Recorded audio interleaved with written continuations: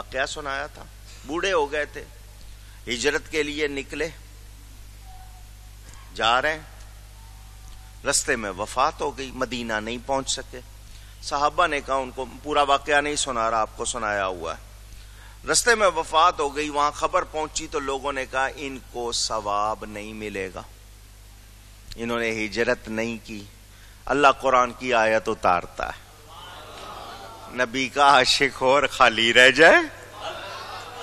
अल्लाह ने आयत उतारी वमन यखरुज में बैती ही मुहाजरन व रसूली। और जो अपने घर से निकले अल्लाह और उसके रसूल की तरफ़ वो काबा छोड़ के किधर जा रहे थे? इल्लाह तो, तो थे काबे में। अल्लाह का घर कहाँ है? मक्का में है। अल्लाह का घर? वो जा रहे थे किसकी तरफ़? रसूल की तरफ़, कुरान की आयत ने बता दिया, रसूल की तरफ़ जाना, अल्लाह की तरफ़ जाना है। अब मैं एक बात और करता हूँ। जब हजूर ने हिजरत फरमाई मक्का मुकर्रमा से, हिजरत का हुक्म हो गया, किसी मुसलमान का मक्का में रहना जायज़ ना रहा। किसी मुसलमान का मक्का मुकर्रमा में रहना डरो नहीं, मैं यकीन से कह रहा हूँ, जायज़ न रहा। काबतुल्ला वहीं पे, अजर असवद वहीं पे, मकाम इब्राहिम वहीं पे, हतीम वहीं पे, मताफ वहीं पे, सफ़ा मरवा वहीं पे, मीना, मुजदलिफा, अरफात वहीं पे, लेकिन वहाँ रहना जायज़ नहीं। कोई दे मुझे जवाब क्यों? अल्लाह का घर!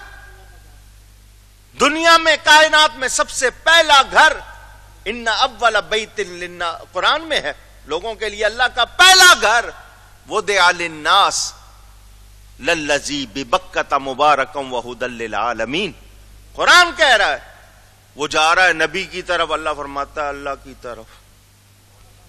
नबी की तरफ़ जाना किसकी तरफ़? क्यों? काबा तो वही था, काबे की जान चली गई थी।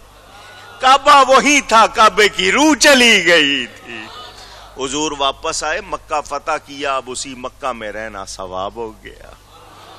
नबी के बगैर, नबी के बगैर कुछ नहीं, कुछ भी नहीं। आधा कलेमा शैतान भी पढ़ता था, ला इल्लल्लाह पढ़ता था। पक्का, अल्लाह को एक मानता था। कहता था अल्लाह, तेरे सिवा किसी की इबादत नहीं, तू कहेगा तब भी नहीं। अपने आप को इतना मवाहे समझता, अल्लाह ने हुक्म दिया, आदम को सजदा करो, या अल्लाह तुझे करता हूँ तेरे सिवा किसी को नहीं करूँगा। अल्लाह का हुक्म भी नहीं माना। समझा ही नहीं कि रब का हुक्म है, तब भी नहीं किया। आधा कलमा पढ़ता था, अल्लाह फरमाता, वकाना मिनल काफिरीन, वो तो था ही काफिरों में से। तो हो गया काफिरों में से। क्यों? आधा कलमा भी पढ़ा, नमाज़ भी पढ़ी। बहुत इबादत की काम आई, नबी को नहीं माना। नबी को, उनकी अजमत को, उनकी मोहब्बत को समझा नहीं। फरमा मरदूद, निकल जा निकल जा। लानत है तुझ पे अब। लानत का मतलब अल्लाह की रहमत से मारूम हो जाना। लानत है तुझ पे, जा। अल्लाह ने नमाज़, अकीदा, कलेमा, इबादत हमारा ले जा। उसने बिस्तरा लपेटा, आज तक उठाए फिर रहा है। नहीं समझे हो। कुछ हाथ आया। इल्लाही व रसूली। तो रसूल की तरफ़ जाना, किसकी तरफ़ जाना? है आओ, अभी मैंने आपको ये बात सुनाई है, ये कुरान का एजाज। अगली आयत पढ़ो।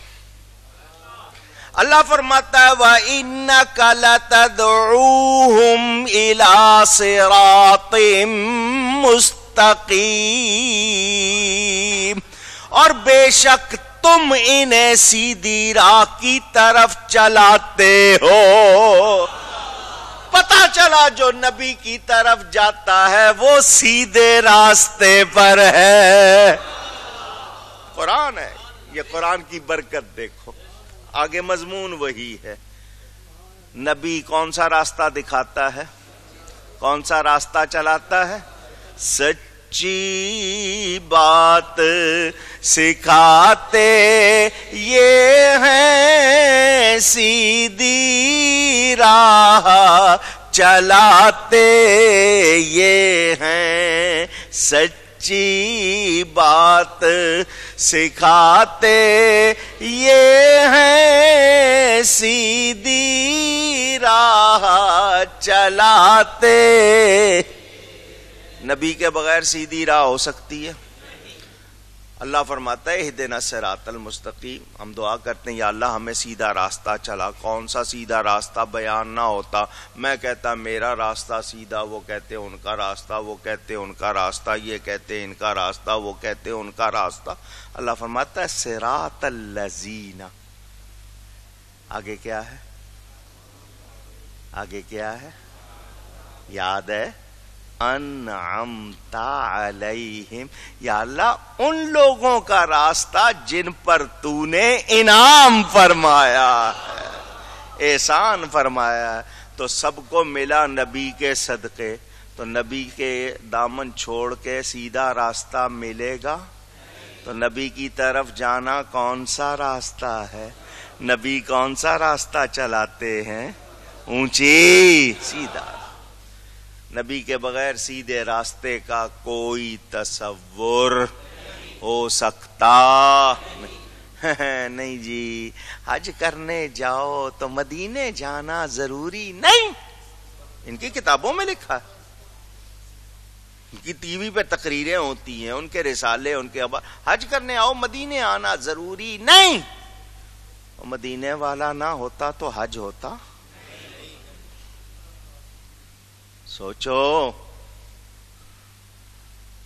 मदीने आना ज़रूरी नहीं। हमारा तो ये यकीन है, मदीने वाला ना होता तो हज भी ना होता, काबा भी ना होता, ये कायनात ही ना होती। अल्लाह फरमाता, मैं इनको ना बनाता तो कुछ भी। किधर होता हज? किधर होता हज? है नहीं जी मदीने अच्छा जाना है मदीने मदीने जाओ तो सिर्फ़ मस्जिद की नीयत करना नबी की नहीं करना। और मस्जिद दुनिया में थोड़ी है, है? मस्जिद दुनिया में कम है। उसका नाम क्या है? मस्जिद नबवी। वो सिर्फ़ मस्जिद नहीं उस मस्जिद में नबी ज़िंदा मौजूद है। खुद फरमाया मंजारनी बादा वफाती, फका अन्नमा जारानी फ़ी हयाती। और जिसने मेरी वफात के बाद मुझे देखा, उसने मेरी ज़िंदगी में मुझे देखा। और सुनो, जब आओगे ना तो ये नहीं समझना।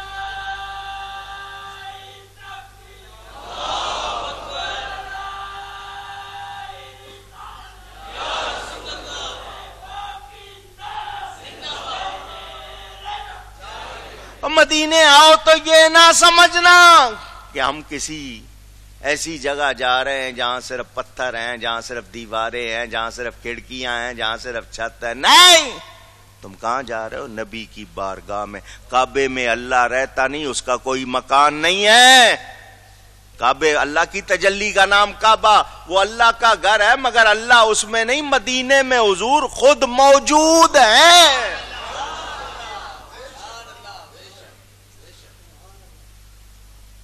और साथ फरमा दिया, ये ना सोच के आना कि मैं मुर्दा हूँ, मैं ज़िंदा हूँ। जो उनको मुर्दा कहता है, अपना ज़िंदा होना साबित नहीं कर सकता। समझ आ रही बात? ये तो रोकते हैं, अल्लाह फरमाता है, ये सीधा रास्ता।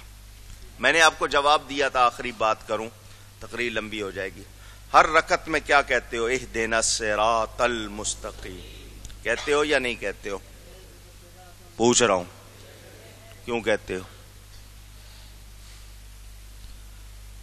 पाँच टाइम नमाज़ फ़र्ज़ पढ़ते हो, इसके अलावा कितने नफल पढ़ते हो? हर रकत में इस दिन सरातल मुस्तकीम, बार बार बार बार बार बार। या अल्लाह सीधा रास्ता चला, या अल्लाह सीधा रास्ता चला, या अल्लाह सीधा रास्ता चला, या अल्लाह सीधा रास्ता चला। अगर पचास रकते हैं, पचास दफ़ा तो लाजमी कहते हो। चलो और कम कर लो, आप नफल नहीं पढ़ते हो, जितना भी कहते हो, चालीस दफ़ा कहते हो, तीस दफ़ा कहते हो कहते हो या नहीं कहते हो? पूछ रहा हूँ, जो निरे फ़र्ज़ पढ़ते हैं, सत्रह दफ़ा तो वो कहते हैं, क्योंकि सत्रह फ़र्ज़ है। कहते हैं या नहीं कहते? तीन वेतर वाजिब हो गए तो बीस रकते, वो भी, बीस मरतबा वो भी कहते हैं या नहीं कहते? पूछ रहा हूँ। जवाब मिलता है या नहीं? हर बंदा बदन पाक, कपड़े पाक, जगह पाक, मुँह किबले की तरफ़, या अल्लाह सीधा रास्ता चला। और कौन सा सीधा रास्ता है? मस्जिद में आए हुए हो, पाक हो, बदन भी, कपड़े भी, लिबास भी, जगह भी, मुँह भी किबले की समत में या अल्लाह सीधा रास्ता चला तो कोई और है सीधा रास्ता? जवाब मिलता है यानी अब तहियात बैठे आपने कहा, या अल्लाह मेरी इबादत तेरी बारगाह में पेश। तेरी बारगाह में अस्सलाम वालेकुम वरहमतुल्लाह नमाज़ हो जाएगी? पूछ रहा हूँ। क्यों? आपने क्याम नहीं किया? सूर्य फातिहा नहीं पढ़ी? कुरान नहीं पढ़ा? रुकू नहीं किया? सजदा नहीं किया? कादा नहीं किया? सब किया। नमाज़ क्यों नहीं होती? और मुझे इबादत पेश करने वाले ये बताइए, नमाज़ सिखाई किसने? मेरा नाम तुझे बताया किसने है? ये कलेमा तुझे पढ़ाया किसने है? इबादत मुझे पेश कर दी, मेरी बारगाह में मेरा हबीब मौजूद है। अब इरादे के साथ सलाम कर। इरादे के साथ उनको ऊँची नमाज़ में किसी और को सलाम करेंगे, नमाज़ रहेगी? किसी और को करें, नमाज़ रहती नहीं, नबी को ना करें, होती नहीं। समझ आ रहे हो? कुछ पहचान रहे हो, कुछ गौर कर रहे हो, सलाम कर, सलाम किया, दरूद भेज। ये आपके उस एहदेनस से रातल मुस्तकीम का जवाब है। तूने कहा था ना, या अल्लाह मुझे सीधा रास्ता चला, इनका दामन पकड़ ले। इन पे दरूदो सलाम भेजते रहना, इनके साथ ताल्लुक ना तोड़ना, ये सीधा रास्ता है। नबी का दामन छूटने न पाए। छूट गया तो फिर सीधा रास्ता मिल सकता। अल्लाह फरमाता भाई नकलतदूहुम ये लाम तक ज़रूर आप सीधे रास्ते पर चलाते हैं, दिखाते हैं। तो सीधा रास्ता कौन दिखाएगा? अल्लाह का हबीब। कौन दिखाएगा? तो अल्लाह के हबीब का वसीला, ज़रिया पकड़ना पड़ेगा या नहीं? उनके वास्ते के बगैर बात बनेगी, नहीं बनेगी। अल्लाह। या रसूल अल्लाह सल्लल्लाहु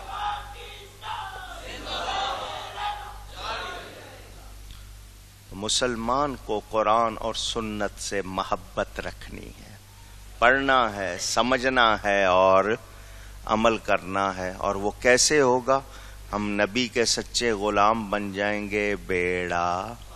गुफ्तगु में मुझसे कोई गलती हुई हो, अल्लाह की बारगाह में तौबा करता हूँ। व आखिर दावाना अनिलहमदिल्ला रब्बिल आलमीन।